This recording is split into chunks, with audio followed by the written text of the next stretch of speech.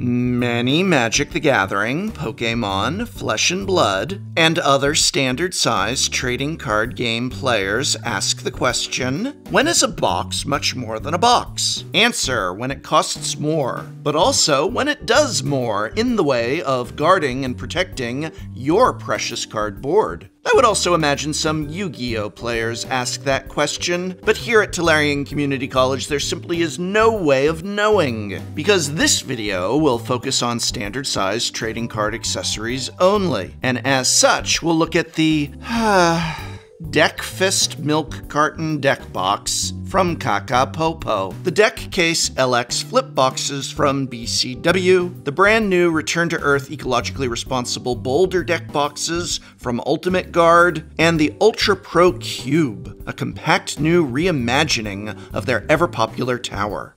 But never mind return to Earth, are any of these deck boxes ones that you're going to wish you could return to your game's store? Save yourself all that hassle and join me, won't you, while we take a look.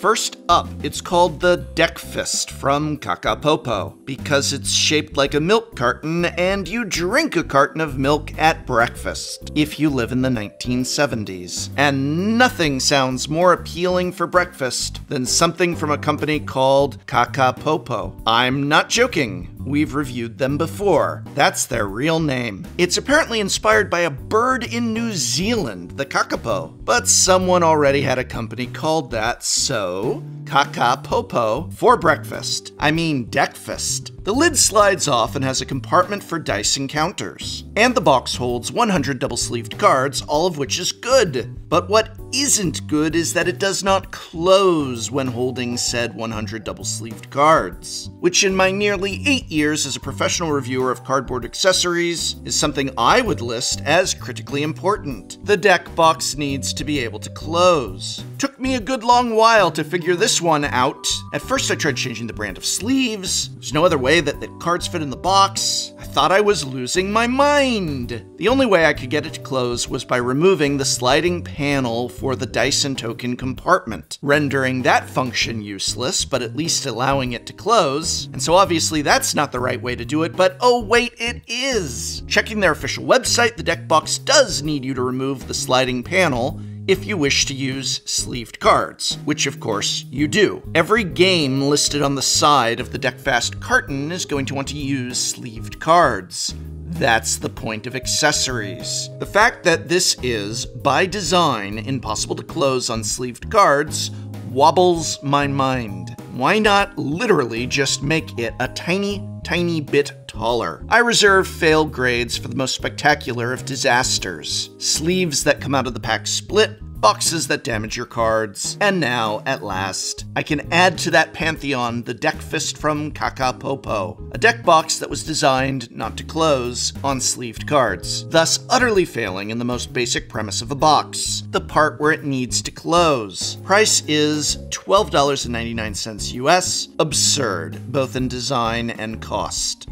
Look, in contrast, at the Deck Case LX from BCW. This is what I call a product that is satisfactorily a box. There's nothing too special about this flip box, pretty standard fare. Long-term viewers of my channel know I have never been much impressed with the typical flip box, but at least it will close when sleeved cards are in it. The LX is a fairly nice polyurethane pleather exterior with appealing stitchwork. Magnets are minimal and won't stand up to much shaking or any, but while it popping open easily is definitely a disappointment, at least it closes. Oh, and these cost less than the Deck Fast at a price of about $9.99 each. BCW has always been one of the best go-to companies for budget buys, and while I can't give this much more than a satisfactory grade because, again, it is just a basic top flip box, the price and quality of material is enough to add a plus to its satisfactory grade. C+.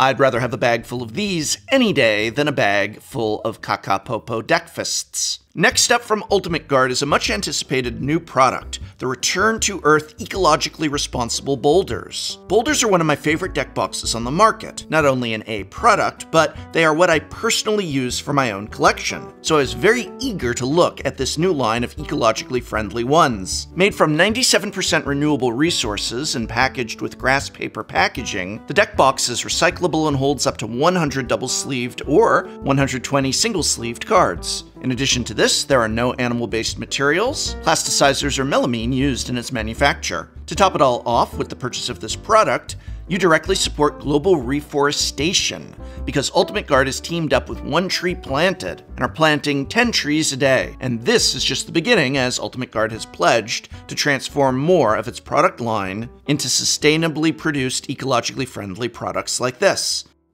As far as the actual dimensions on the box go, this is the same as any other boulder. It will hold more or less exactly 100 double-sleeved cards. Here I have 100 double-sleeved in Dragon Shield outers with Dragon Shield inners.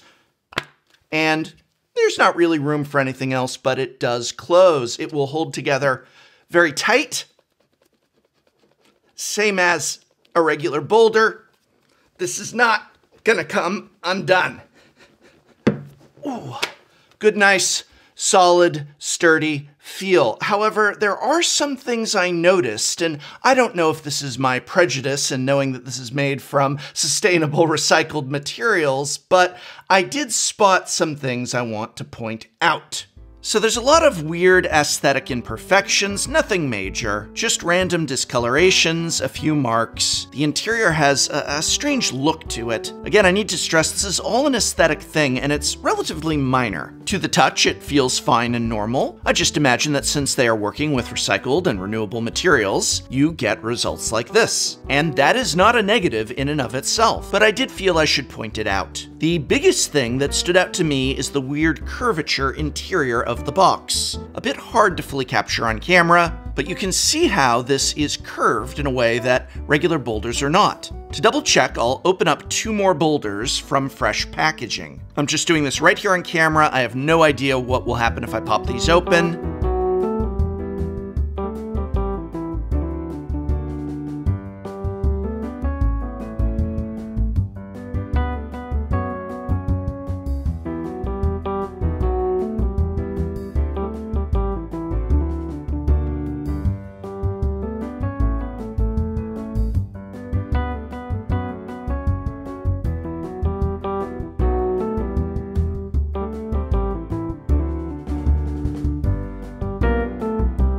Oh, there's a little bit of debris inside that one. That happened with one of the ones I already opened, actually. I imagine, again, that's all part of the manufacturing process, but it's worth noting.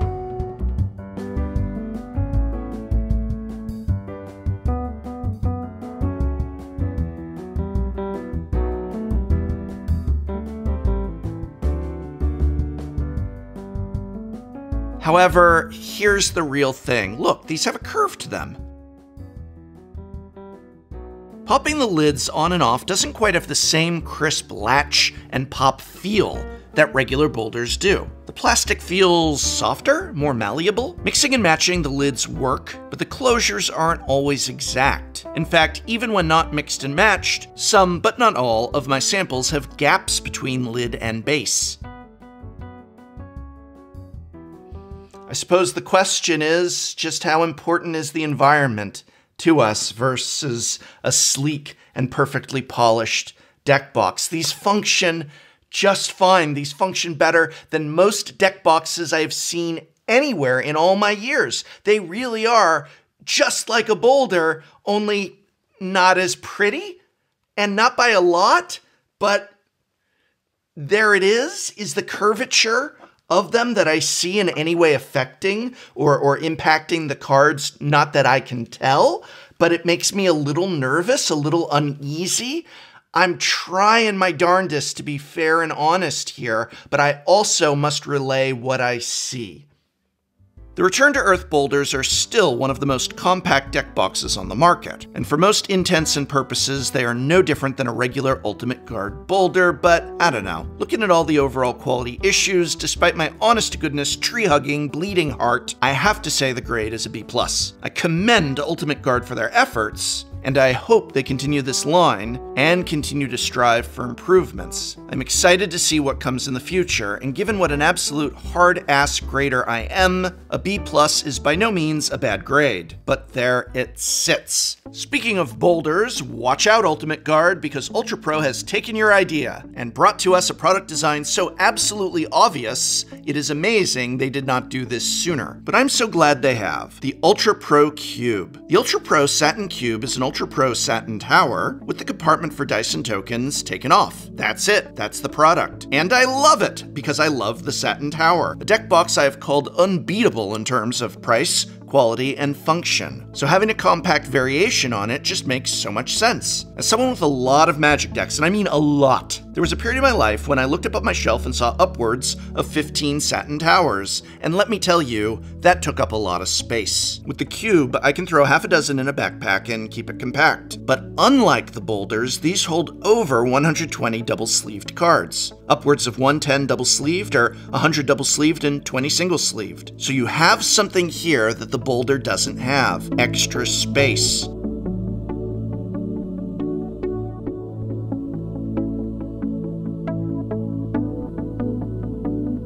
I want to show you something. This is the actual satin tower from my very first deck box review over seven years ago. The exact one that you'll see me using in that video. It looks the same as it did seven years ago.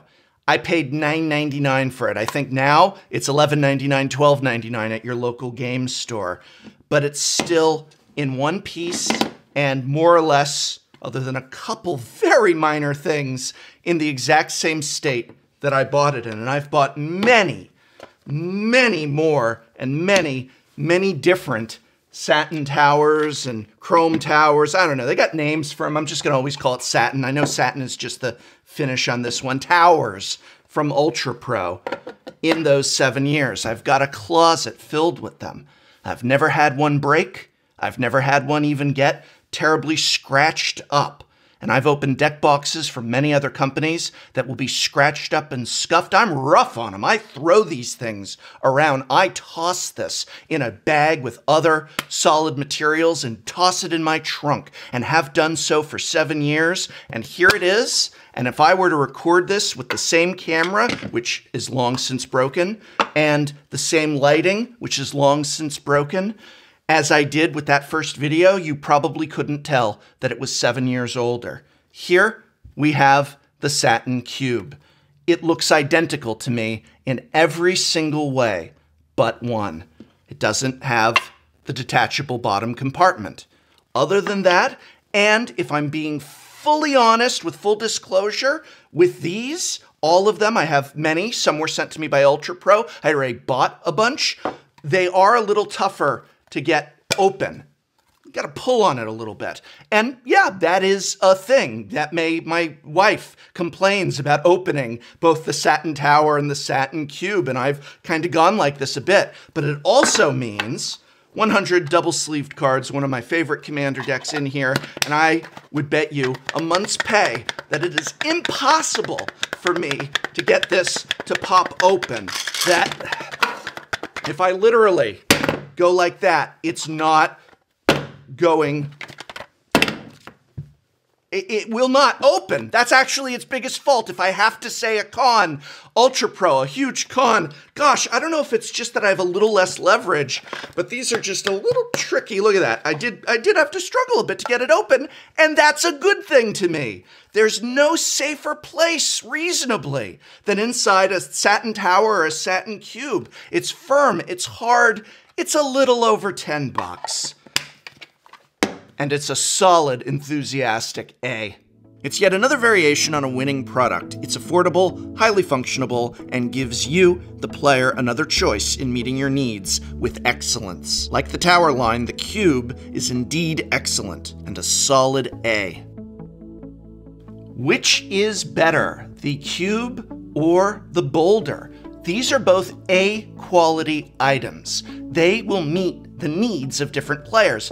I actually like the boulder, even though I can only put exactly 100 double sleeved cards in it because it's more compact than the cube. The cube is a teeny bit larger because it holds a teeny bit more cards. For many Magic the Gathering players, that extra size of the cube will be worth it to put in 10 sleeved tokens in addition to their 100 double sleeved card commander deck. Or maybe you would rather have the compactness of the boulder. The boulder is also obviously really easy to open.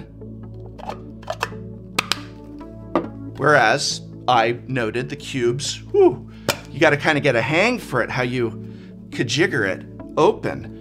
They are both excellent products. They meet the needs of different players. And to me, that's a win across the board. Hopefully, hopefully these videos, all of these videos, all 30 plus of these Deckbox videos that I've reviewed over seven years of this channel have been of some use in helping you decide not, oh, that's the one that got an A. A lot of them have gotten A's.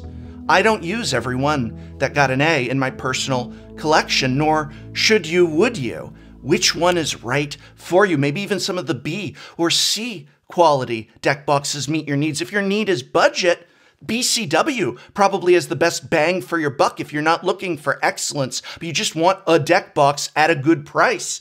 Looking through their catalog and my reviews of their products may find what's right for you. I just hope you find what's right for you. And if I have done that. If I do this over the years, go ahead and hit that subscribe button, click that bell for notifications, share with a friend. You'll be helping me out when you do.